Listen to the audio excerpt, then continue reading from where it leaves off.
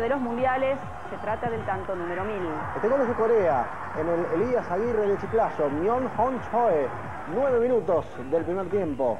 Ganaba Corea frente a Costa de Marfil. Repite el goleador a los 38 minutos de la primera parte. Ahora cruzando este remate, es una jugada que se abría hacia la izquierda y define el delantero con absoluta suficiencia.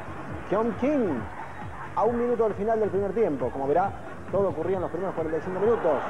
Otro remate, este afuera del área grande.